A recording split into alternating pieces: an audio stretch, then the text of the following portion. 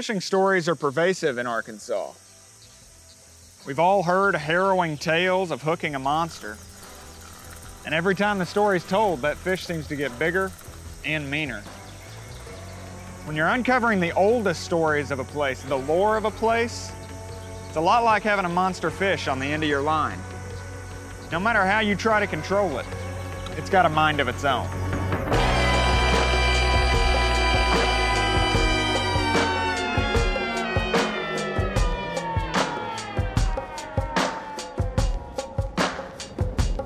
Cryptozoology is basically the study of unknown or undiscovered creatures.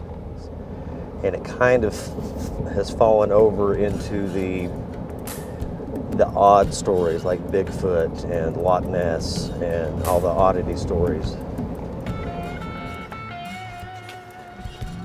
Well, Mr. Jamie, what are they biting on this week? My uncle used to, he'd say, let me look in your box, and he'd try to pick something he didn't have.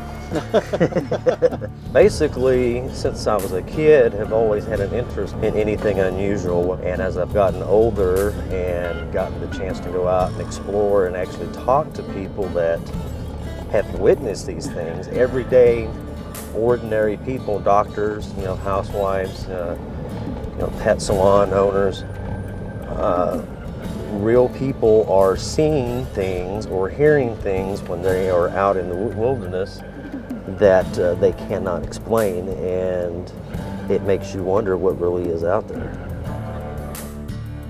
Surprisingly, there seems to be quite a few oddities here in Arkansas. One of the lesser known ones is the White River Monster, the earliest report I can find is 1864. A colonel uh, in the Civil War, Colonel Craven, decided to go out fishing on the White River. As fish stories go, he hooked a monster that he referred to as a devilfish.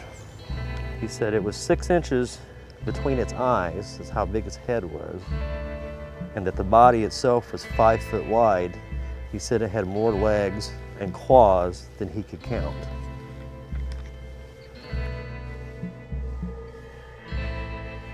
There's so many animals that people thought were extinct that weren't. We really do have some prehistoric monsters in these waters. The sturgeon is one. It's been around for millions of years, and it could even be a gar. The alligator gars get up to 12 feet long. I think there's just I think there's just an interest in, in things that may be possible. 1937 is basically when it made national news. There was a plantation owner just outside of Newport that fishermen in the area reported to him because they were just off the shores of his property that they had seen a large creature. Uh, they described it having elephant uh, like skin and it was four to five foot wide. When they went to the media with the story, it kind of took on a little uh, life of its own, a little media frenzy for the time. Uh, I guess nowadays you would call that going viral. And, uh, and from there, the former Navy diver, uh, Charles Brown, decided he was going to tackle the adventure and go into the river armed with an eight foot spear and catch this thing.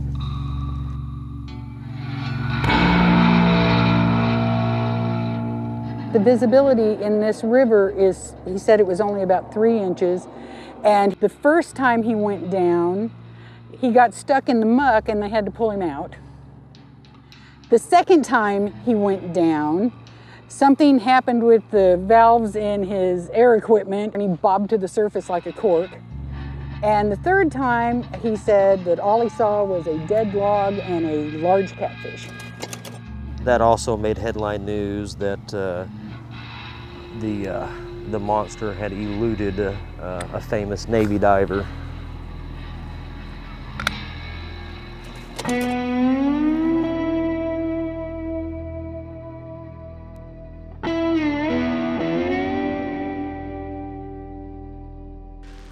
In 1971, a Japanese news team dispatched camera crews over. They were going to document and maybe do a little documentary on this creature and they spent some time in Newport.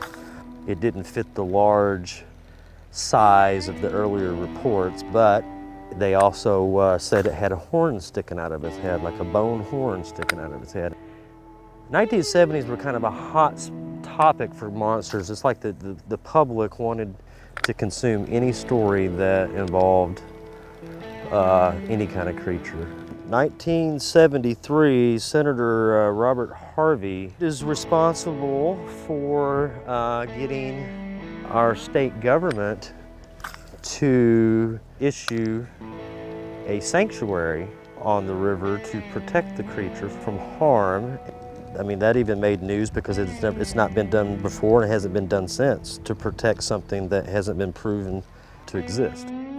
In February of 1973, in a bill adopted by voice vote, the state Senate designated a section of the White River from Jacksonport to Possum Grape to be an official White River Monster Refuge.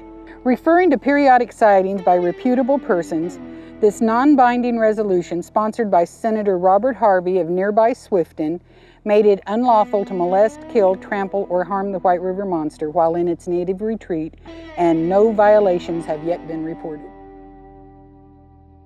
I honestly believe that everybody saw something. I don't think that they were all seeing the same thing. And when you try to put all those together, you get a monster. I want to believe there's something unusual out here. Just for the sake, I like unusual things. There's always been an interest in the odd and the unexplained. And me personally, that, that that's my entertainment is to come out here and pe some people think I'm crazy, but to me, it doesn't matter if it's real or not. It would be awesome if it is. You never know. Like the scariest of monsters, stories have the ability to change and adapt whenever they reemerge from the shadows. Time and again, the White River Valley thought they were done with their resident monster, and time and again, he reemerged with a scarier look and a creepier encounter. In places as old as Arkansas, you don't have to be a monster hunter. Just sit still long enough and something's bound to rise to the surface.